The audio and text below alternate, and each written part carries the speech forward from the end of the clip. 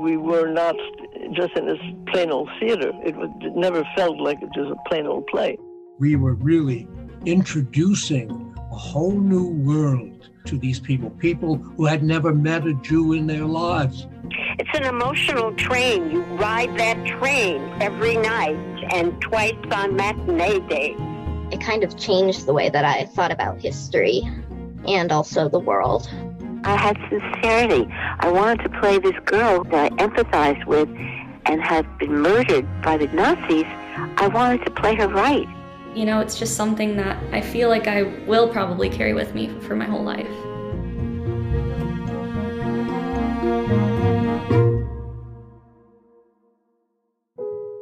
He'd been interested in making a war film after the war, and he just never found the right subject.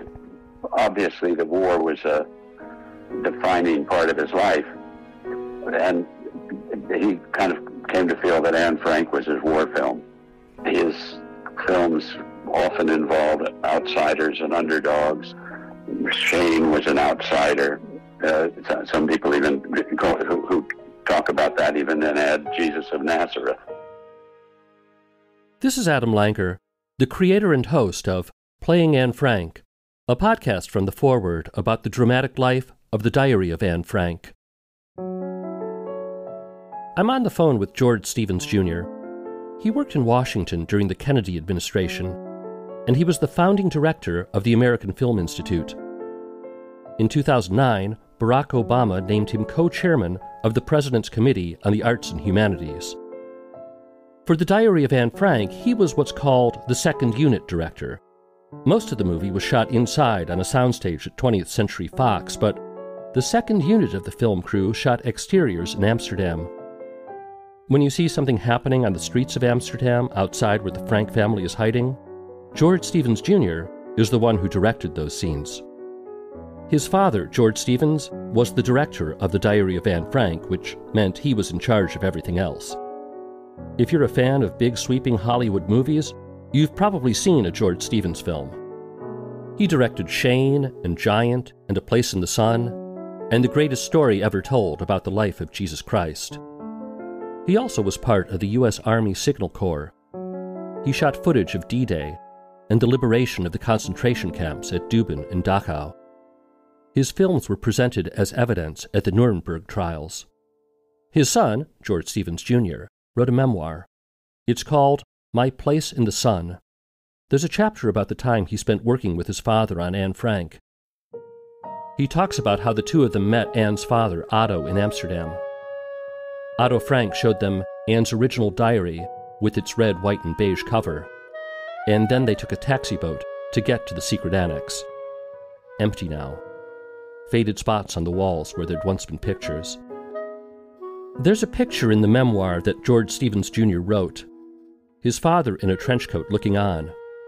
Otto Frank with his hand on a railing, about to mount the stairs once more to go up into that secret annex We trekked around Normandy and then went to Amsterdam and went to meet Otto Frank at his little office in Amsterdam and then with him to the 263 Prinsengracht.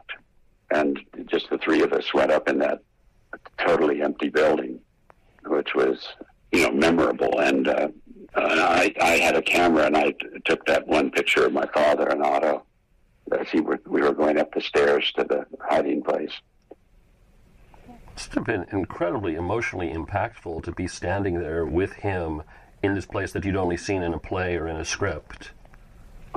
Yeah, and and my father was a, a very uh, considerate person and treated people with respect. But when we got up to the top there and behind the bookcase and in the place, yes, and you look around and this is where they lived and you know that where pictures had been on the wall, you saw the absence of the pictures. But Dad did feel that he had to ask him if he would describe what happened on that last day, and uh, and he did, and you know just three people standing in a bare room. You know, I can't think of a more touching conversation that I've been part of in my life. You know. This is episode 5 Anne Goes to Hollywood.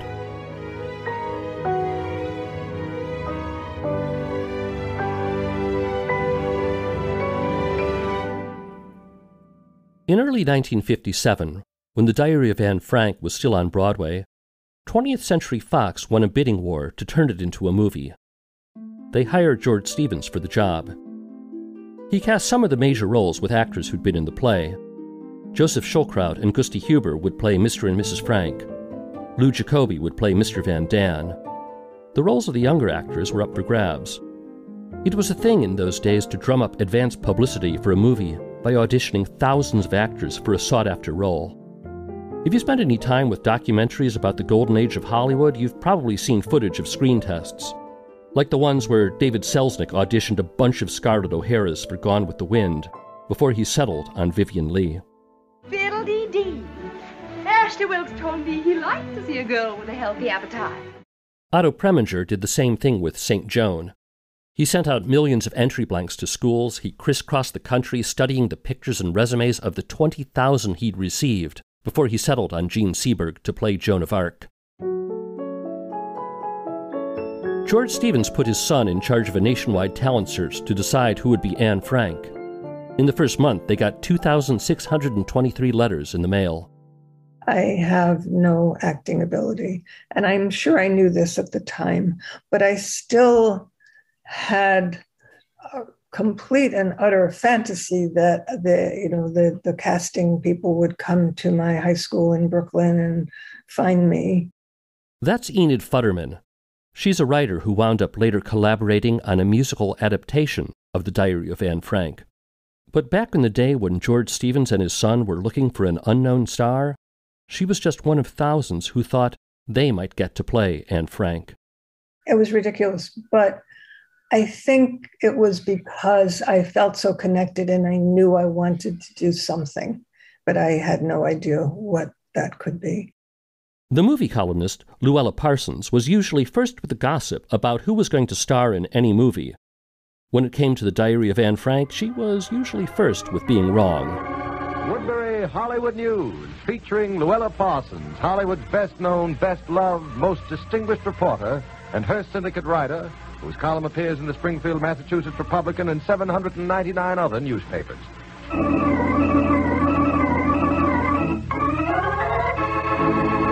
Hello to all of you from New York. Well, here I am in the big town. Louella Parsons said Susan Strasberg, who played Anne Frank on Broadway, was a shoe in to play her in the movie. But Strasberg was already 20, and that seemed too old. Then Luella Parsons said Audrey Hepburn would get the gig. Supposedly, she was Otto Frank's favorite. Two weeks later, Sheilah Graham, you know, the gossip columnist who had a famous affair with F. Scott Fitzgerald, she said Hepburn was out of the picture. Maybe it would be Mary Murphy, who starred with Marlon Brando in The Wild One.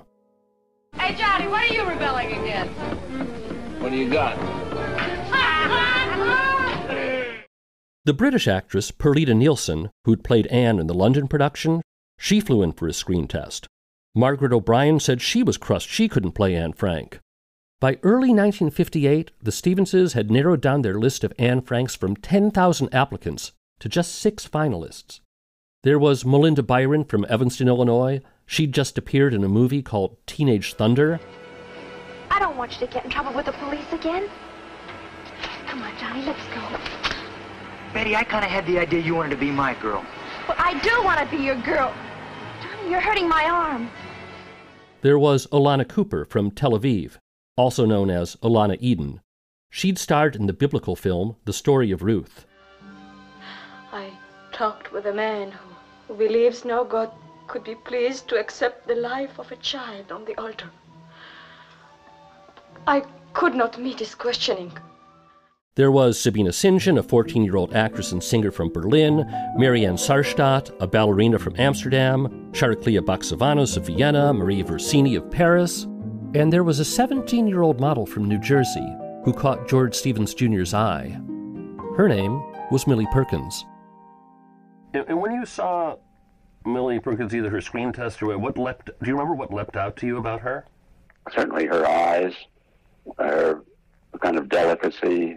You know, I, I, I wouldn't want to, I, I really wouldn't want to try and characterize it too much.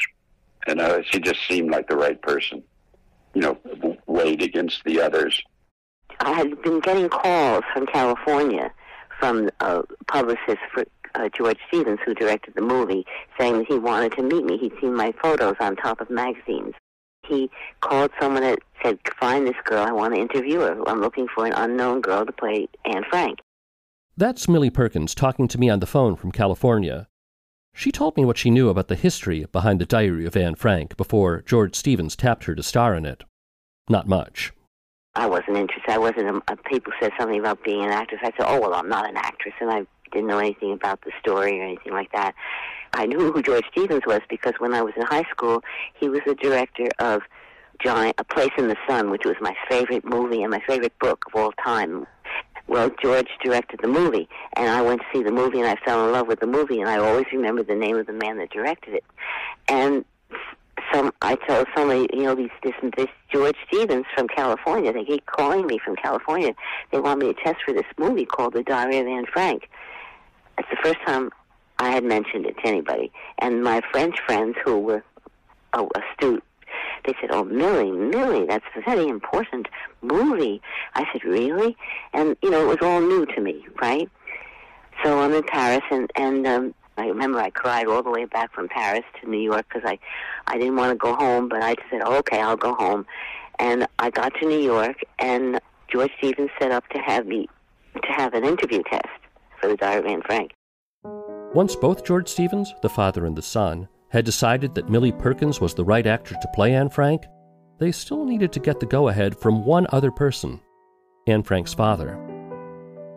George invited me to go to his house to meet Otto Frank because he wanted Otto to okay me.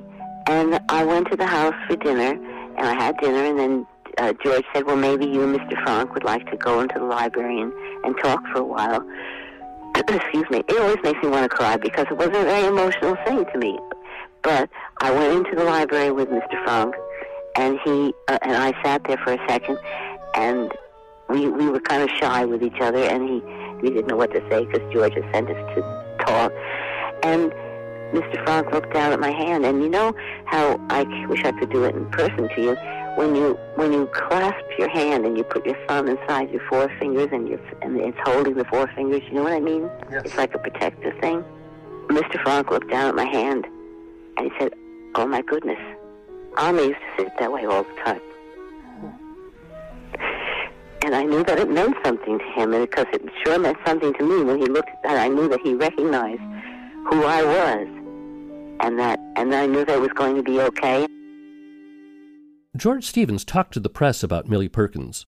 She was a quiet girl, he said, but then she starts to unfold, like an artichoke. One of the things he seemed to like was the fact that Millie Perkins hadn't been so sure she wanted the role. She was independent minded and opinionated, a lot like the real life Anne she was supposed to play. I had a mind of my own, and nobody could tell me what I could do or couldn't do. I decided. And how much of that did you bring into playing Anne Frank, that kind of mindset? Because that's who Anne Frank was. Anne Frank could not be told what she could or couldn't think. And what she, she could be told what she couldn't do because she was still young, but she, uh, uh, you know, she was protested things. But, you know, I was that kind of person. When I read the diary, I said, oh my goodness, I know who she is. Because it was me.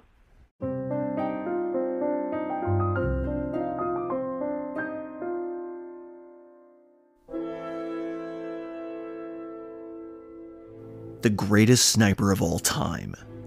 The murder that rocked early Hollywood and its subsequent cover up. Nazi terrorists in late 1940s Germany. The frantic search for Shambhala in the wake of the Russian Revolution. The American mercenary who saved the Chinese Empire. The submarine used in the American Revolution. The global pandemic that gave us the Third Reich. The Greek Frenchwoman who worshipped Hitler as a Hindu avatar. The father of modern Palestinian nationalism, his role in the Holocaust, and his relationship with Nazis who had affinities for Islam. What do all of these stories have in common? They are strange, they are unbelievable, They are perhaps even impossible, but they are all true. And you can learn about them on the History Impossible podcast. Subscribe on whatever podcast platform you use or visit historyimpossible.com today.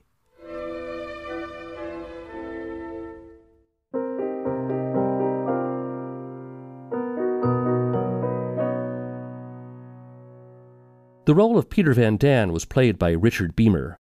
A couple years later, he'd play Tony in the original movie of West Side Story. Diane Baker played Anne's older sister, Margaret. Maybe you know her from movies she appeared in later, like Marnie by Alfred Hitchcock and The Silence of the Lambs. Take this thing back to Baltimore. The Diary of Anne Frank was Diane's movie debut, too. While I was researching this podcast, Diane Baker was a little harder to get in touch with than some of the other people. It took a lot of phone calls, a personal letter, and the seal of approval from Millie Perkins. Millie and Diane met on the set of The Diary of Anne Frank, and they've been friends ever since. Mr. Stevens was couldn't have been more wonderful to me and Millie. He carried peppermint around in his I guess he kept it in his pocket for before a scene to give me something to take my mind off of the uh, worrying about the scene, just to give me a little pep, you know. it was peppermint, and it was always very cooling, and it felt good, and it was it kept my mind off of worry. And he just put candid to me as to say, you know, don't worry, it's all going to be okay. it's not going to. And he tried to keep our spirits up the whole time with music it, it was just, it was really a, a, a journey. There's a theme that runs through the memoir that George Stevens Jr. wrote. The attention his father lavished on every detail of his films, every actor, every inch of the set, every line of dialogue. At one point, George remembers telling his dad during the filming of Anne Frank that the movie looked finished to him. Maybe it was time to just wrap it up. Just think how many hours people will spend watching the film over the years, George Stevens told his son. Don't you think it's worth spending a little more of our time working to make it a better experience for them? We cared a great deal about doing it right, and and and you know we had a German band and, and, and people, you know, German soldiers, and Amsterdam had not seen that since the war, so there was great interest in it. And there's that scene that we shot where they're they arrested the greengrocer, you know, and and you, you you're seeing it sort of out of the window from a hiding place, and then at ground level as well. And you know, with these, these siren and the truck drives up, and they haul this man out with his hands behind his head. He was the actual greengrocer uh, who was taken away, went to camp, camps, and then came back and we discovered he was there, and he agreed to play the greengrocer. The movie of the Diary of Anne Frank opened in CinemaScope on March 18, 1959, at the RKO Palace Theater in New York. Women in furs and men in tuxedos stepped out of limos under the marquee and entered the theater. Harry Belafonte was at the premiere. So was Noel Coward.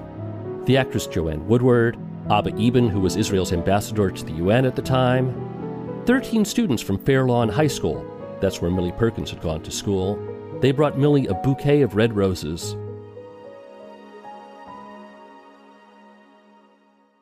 The New York Daily News gave The Diary of Anne Frank four stars and called it a film masterpiece.